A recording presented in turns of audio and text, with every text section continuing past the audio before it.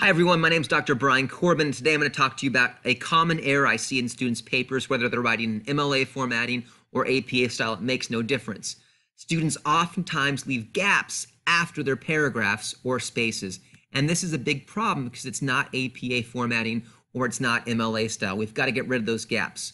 So to do that, make sure in your Microsoft Word document that your Home tab is selected as seen up here. Then scroll over to where it says Paragraph and click the up down arrow and make sure that your spacing set for double space. In this case, my document is. But now we want to make sure that we get rid of those spaces after it. So we want to come back down here. The cursor comes at the end of the opening paragraph. Go back to the up down arrow and hit remove space after paragraph. That's all you got to do. Let me show you again.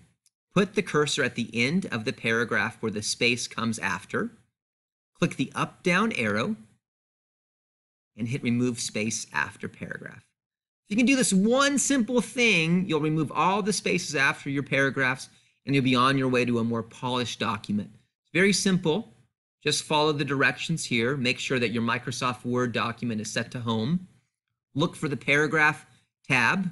Look for the up down arrow icon and then hit remove space after paragraph. I hope this helps you and thank you for your time.